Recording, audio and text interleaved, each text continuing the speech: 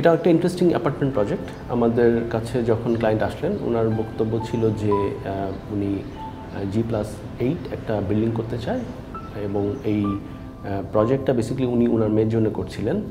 So এই কারণে interesting বলছি, যেহেতু নিকেতন একটা খুবই ডেন্সলি নেবারহুড একটা প্লেস এখানে প্রজেক্ট করতে গেলে আমাদের পারিপার্শ্বিকতা ভেরি ইম্পর্ট্যান্ট কারণ রাস্তার যেই পরিসর, এগুলো উইথগুলো অনেক বেশি না।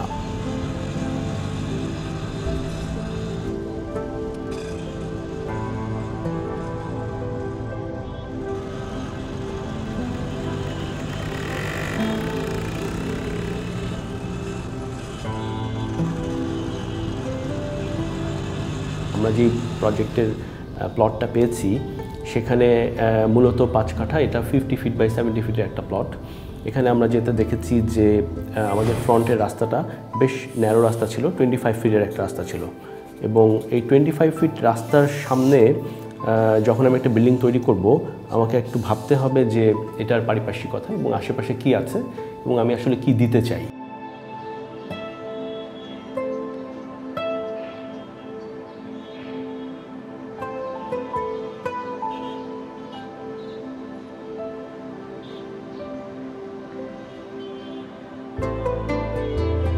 আমরা ইউজুয়ালি দেখে অভ্যস্ত যে সামনের দিকে বেডরুমস হবে পেছনের দিকে সিঁড়ি লিফট হবে, এই বিষয়গুলো আমাদের সাধারণত বিভিন্ন প্রজেক্টে হয়ে থাকে।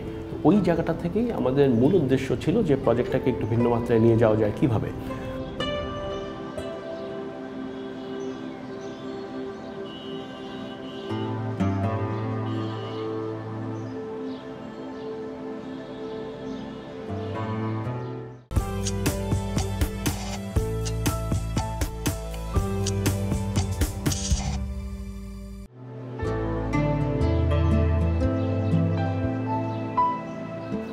এই প্রজেক্টের ওরিয়েন্টেশন ছিল উত্তরমুখী, আমার আমাদের উত্তরমুখী প্লট আমরা প্রথম থেকে ভাবছিলাম যে আমাদের পশ্চিম যে দিকগুলো আছে, পশ্চিমের দিকগুলোতে কীভাবে আমরা সিঁড়ি লিফট কিচেন এই বিষয়গুলোকে আনতে পারি।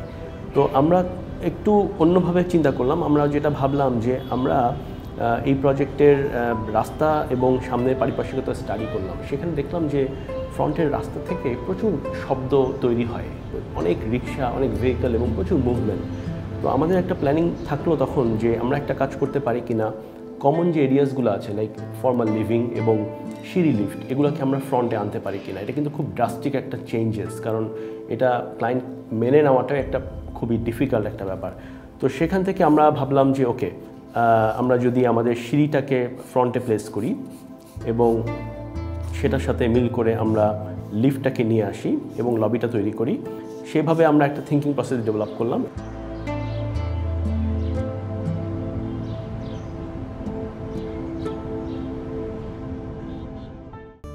ভাইয়া আসেন পাকা কথাটা সেরেই ফেলি। ভাইয়া ওই স্পটে বসেই যত সব গুরুত্বপূর্ণ ডিসিশন নেয়। বাবা? আরে ওঠ না। দেয়ালে ড্যাম্পের জন্য দিনের পর দিন তুই একই জায়গায় বসে থাকবি। Berger mister expert damp guard যা সাধারণ পেইন্টের থেকে দশ গুণ বেশি শক্তিশালী। Berger mister expert damp guard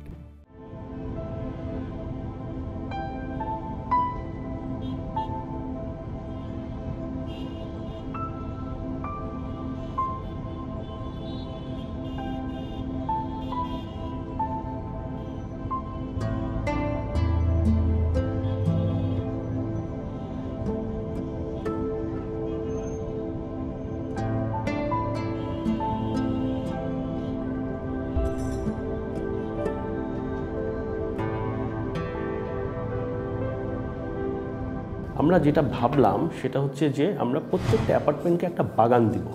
এটা ছিল আমাদের একটা মূল কনসেপ্ট কারণ ঢাকা শহরে যে এমনিতেই তো বাগানের বড় অভাব, তো সেখান থেকে আমরা যেটা প্ল্যান করলাম যে আমরা ফর্মাল লিভিং স্পেসটাকে যদি বাগানের সাথে কানেক্ট করতে পারি, এই বাগানটার সাথে একটা যদি প্যাটিও থাকে ভেরি নাইস একটা প্যাটিও তাহলে তারা যেটা করতে পারবে, বিকালে চা কফি এগুলো খাওয়ার জন্য বসতে পারবে।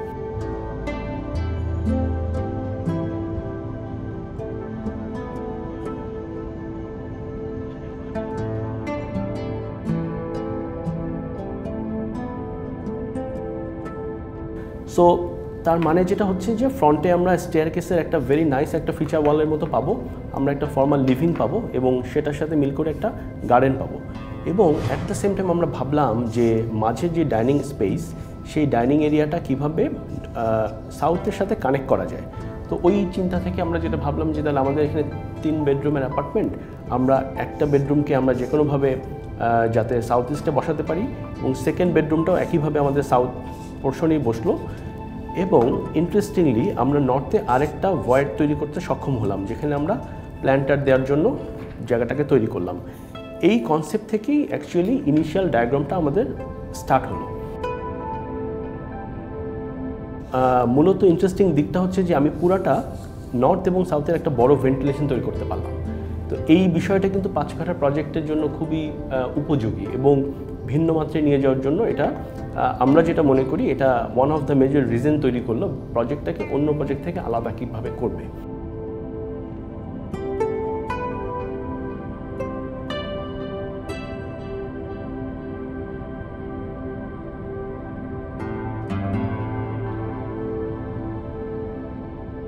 সো একইভাবে যখন আমরা এটার ভার্টিক্যাল থিঙ্কিং প্রসেসটা ভাবলাম, তখন দেখলাম যে তাহলে আমাদের যখন সিঁড়িঘরটা ফ্রন্টে চলে আসবে আমরা সবসময় প্রজেক্টে যখন ভাবি, তখন এটার একটা এলিভেশন এবং এটার সেকশনাল পার্সপেক্টিভ ভাবি। এবং তখন আমরা বোঝার চেষ্টা করলাম যে আমরা এভরি ডাবল হেড পর পর আমরা কীভাবে প্রজেক্টে একটা করে গার্ডেন দিতে পারি। এবং সেইটাই রোল প্লে করবে টোটাল প্রজেক্টের গার্ডেনের সাথে মিল করে টোটাল লিভিং কন্ডিশনকে আলাদা করে দিবে।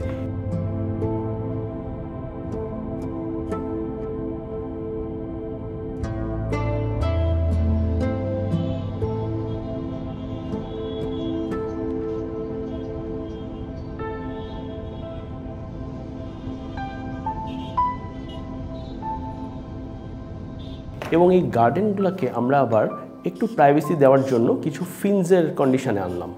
ফিনজের কন্ডিশনে এ কারণে আনলাম, যেহেতু আমি প্রথমেই বলেছি যে নেবারহুডটা ভেরি ইম্পর্ট্যান্ট অনেক ক্যাওটিক একটা ক্যাওয়াসপূর্ণ একটা জায়গা। এখান থেকে জায়গাটাকে আলাদা করারই ছিল মুখ্য উদ্দেশ্য। সো ইন্টারেস্টিংলি ওই গার্ডেনটাই কিন্তু আমাদের লিভিং এরিয়া এবং আমাদের ডাইনিং এরিয়া থেকে প্রজেক্টটাকে আলাদাও করে দিল এবং এক- একই পরিসরে একটা ভালো প্রপোশন তৈরি করতে সাহায্য করল।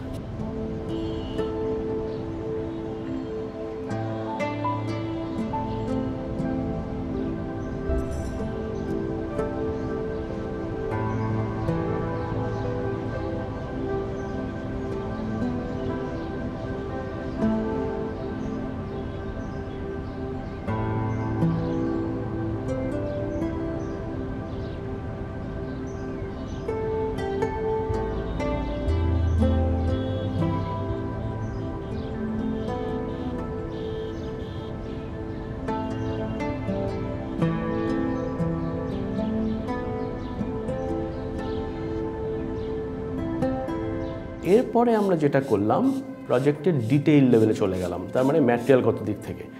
সেখানে আমরা আবার ভাবলাম যে বিল্ডিংটাকে আমরা টু কনসেপচুয়ালি এটা যে ম্যাটেরিয়াল আমরা ঢালাই ম্যাটেরিয়াল ইউজ করব ফেয়ার ফেস ইউজ করব এবং কিছু হয়তো ব্রিক আসতে পারে, তার মানে স্টিল শাটারে হোক বা কাঠের শাটারে হোক আমরা কিছু কংক্রিট ওয়াল তৈরি করব এবং ক্লারিটি ক্ল্যারিটি রাখব। এটা ভেরি ইম্পর্টেন্ট যে বিল্ডিংটা আমরা যেভাবে ঢালাই করছি সেটাই রেখে দেওয়া, এই রাফ ওই কনটেক্সট থেকে আমরা প্রজেক্টের থিঙ্কিং প্রসেসটা শুরু করলাম। এটা আমরা পরবর্তীতে ক্লায়েন্টের সাথে কনসেপচুয়াল ড্রয়িংটাকে শেয়ার করলাম এবং উনি এই ড্রাস্টিক চেঞ্জটাকে যে সিঁড়ি সামনে নেওয়ার বিষয়টা, উনি কিন্তু মেনে নিল এবং বুঝতে পারল যে আমরা কী কনসেপ্টে করেছি। এবং আরও একটা পজিটিভ দিক হলো যে, উপরের চার পাঁচটা লেভেল থেকে পেছনের দিকে হাতির ঝিলের আমরা ভিউ পাই এবং খুবই নাইস বাতাস আমরা পাই। তো যেই জায়গাগুলোতে আমাদেরকে ক্লায়েন্টকে পুশ করতে সাহায্য করেছে। তো এভাবে আমরা ইনিশিয়াল থিঙ্কিং প্রসেসটা স্টার্ট করলাম প্রজেক্টে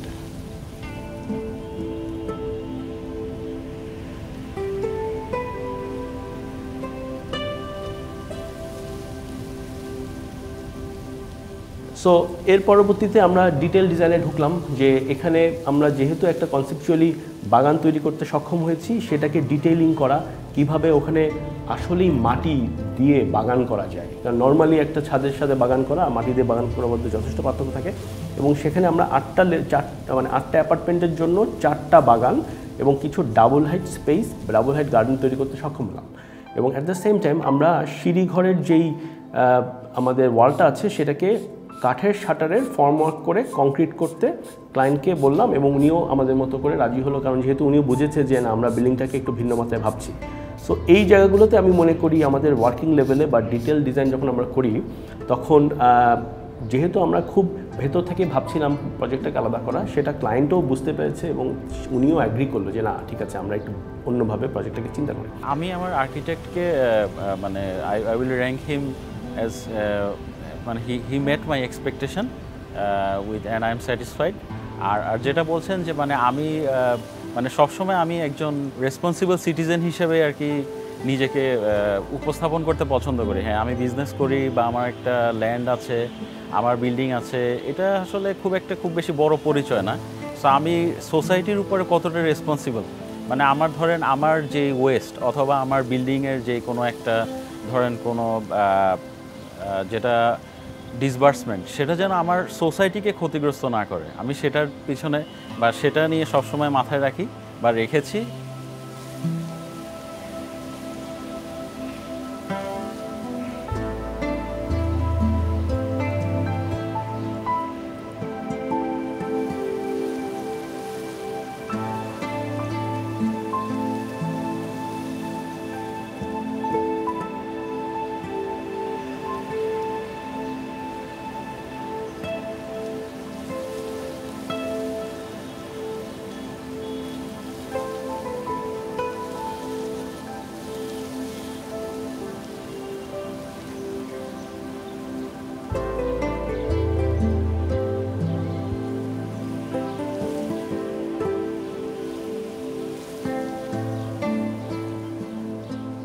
যেটা লিভিং এক্সপিরিয়েন্সের কথা বলছেন, আমি একটু মেনশন করি, আমাদের বিল্ডিংটা কমপ্লিট হয় কিন্তু ঠিক করোনার যখন ফার্স্ট ফেজ চলছে মানে দেশে লকডাউন তো আমার এখানে যারা টেনেন্ট ছিল মানে এখনও যারা আছেন ওনারা দেখা যেত যে বাচ্চাদেরকে নিয়ে আপনার হয়তো বাইরে তো তখন যাওয়ার খুব একটা সুযোগ ছিল না, তো তারা মানে রুফটপে এসে কিছুটা সময় স্পেন্ড করতেন হ্যাঁ বিকালে বাচ্চারা এখানে খেলতো, দেখা যেত যে যে একটা বাইরে বের হওয়ার যে একটা তাগিদ বা তারা মানে এখন খুব নেচারকে তারা মিস করার যে ব্যাপারটা, ওইটা হতো না।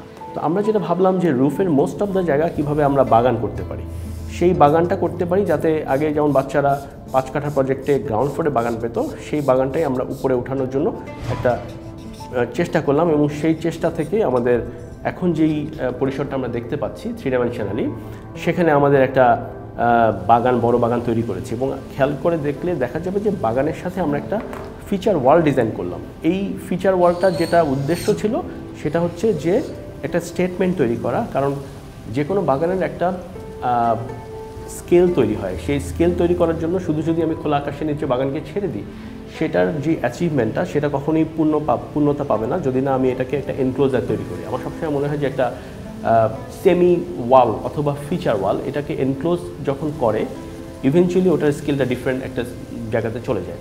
তো ওটা নিয়ে আমরা ভাবলাম, তো ওইভাবে করে আমরা ডিটেল ডিজাইন করে একটা লেভেলে দাঁড় করালাম ওয়ার্কিং ড্রয়িং এবং এরপর পরবর্তীতে কনস্ট্রাকশন স্টার্ট হলো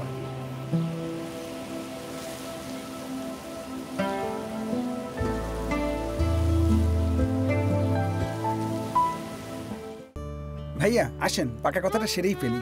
ভাইয়া ওই স্পটে বসেই যত সব গুরুত্বপূর্ণ ডিসিশন নেয়। বাবা? আরে ওঠ না। দেয়ালে ড্যাম্পের জন্য দিনের পর দিন তুই একই জায়গায় বসে থাকবি। Berger mister expert damp guard যা সাধারণ পেইন্টের থেকে দশ গুণ বেশি শক্তিশালী। Berger mister expert damp guard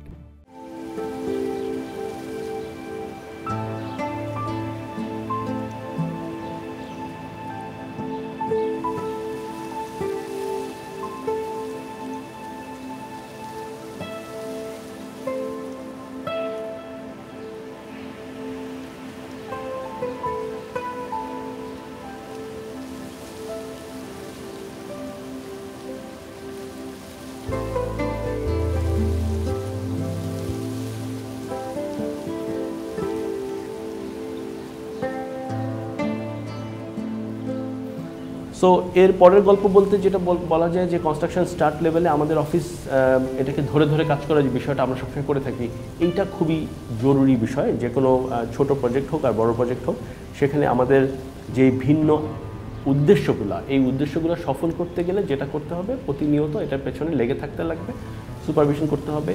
ওখানে আমরা একটা ভালো টিম অ্যাসাইন করলাম, আমরা একটা ফেয়ার ফেসের ভালো কন্ট্রাক্টর অ্যাসাইন করলাম।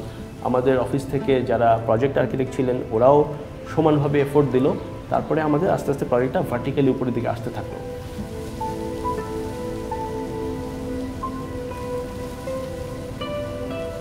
সো এই পর্যায়ে আমরা সুপারভিশন করে প্রজেক্টটার স্ট্রাকচার তৈরি করতে সক্ষম হই এবং উনি আমাদের যেই ক্লায়েন্টস ছিলেন ওনার মেয়ে বেসিক্যালি আমাদের সাইটের উপরে একটা ডুপ্লেক্স নিয়ে থাকেন। ওখানে আবার ইন্টারনালি কিছু ইন্টারেস্টিং স্পেস তৈরি করাটাও আমাদের উদ্দেশ্য ছিল। সেই স্পেস লেভেলে আমরা কাজ করেছি এবং সামনের দিকে যে বাগ- বাগানের সাথে রিলেশনশিপ এটা তৈরি করাটা সবসময় আমাদের জন্য খুব জরুরি ছিল।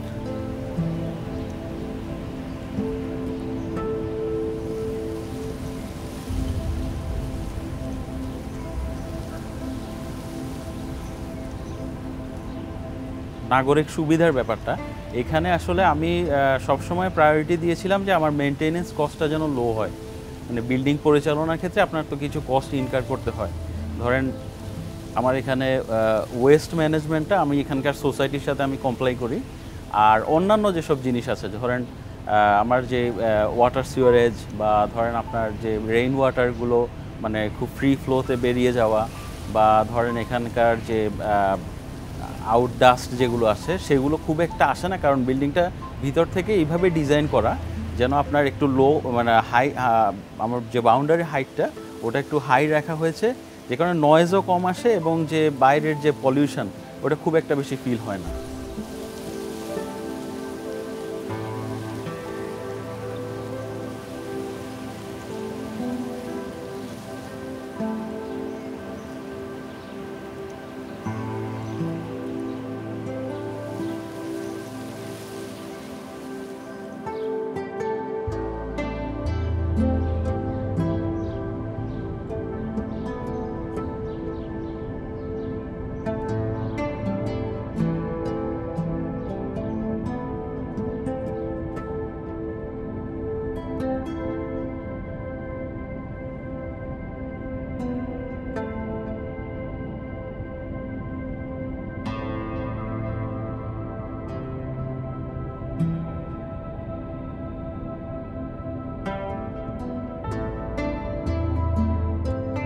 তো যেটা আমাদের মনে হয় সেটা হচ্ছে যে পাঁচ কাঠা প্রজেক্ট হোক বা তিন কাঠা হোক, এই প্রজেক্টগুলোকে ভিন্ন মাত্রায় নেওয়ার জন্য এটার পেছনে অনেক সময় দেওয়া এবং কনটেক্সটা নিয়ে বোঝাটা ভেরি ইম্পর্টেন্ট যে আমি হয়তো একটা প্রজেক্ট পশ্চিম দিকে মুখ করার প্রজেক্ট হতে পারে বা উত্তর দিকে হতে পারে, কিন্তু অ্যাকচুয়ালি তার পারিপার্শ্বিকতাটা বুঝে নিয়ে আগানোটা খুব জরুরি।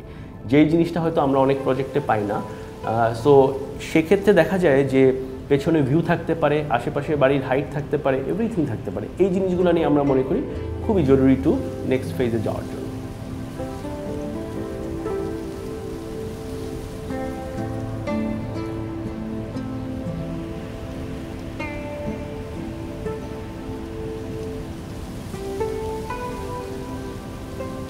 আমাদের এখানে বিল্ডিং কোড অনুযায়ী সব বিল্ডিং কিন্তু ওইভাবে তৈরি না। সো যে কারণে ভূমিকম্প বা দেখা যায় যে অন্যান্য যেসব ন্যাচারাল ক্যালামিটি হয়, আপনার অনেক সময় দেখা যায় যে একটু বৃষ্টি হলেই রাস্তায় পানি উঠে গেছে বা দেখা যায় যে অনেক সময় পানি ক্লক ডাউন হয়ে গেছে। হয়তো ওখানে কিন্তু ড্রেন লাইন ভালোই আছে, কিন্তু জাস্ট আপনার সিস্টেমেটিক্যালি এগুলো প্রিপেয়ার না করার কারণেই আসলে মানুষ প্রবলেম ফেস করে। সো এটা আমাদের আসলে দায়িত্ব যে আমরা যেন গভর্নমেন্ট রুলস বা আমাদের এখানে যেহেতু রাজুক আপনার এগুলো মনিটর করে বা অথরিটি সো তাদের যে একটা মানে ডিজাইন কোড অনুযায়ী বিল্ডিংটা প্রিপেয়ার করলে সোসাইটির প্রতি রেসপন্সিবিলিটিটা আমাদের কমপ্লিট হয়ে গেল। আর আমরা নিজেকে অ্যাটলিস্ট আমরা অ্যাটলিস্ট বলতে পারব যে we are very much accountable to the society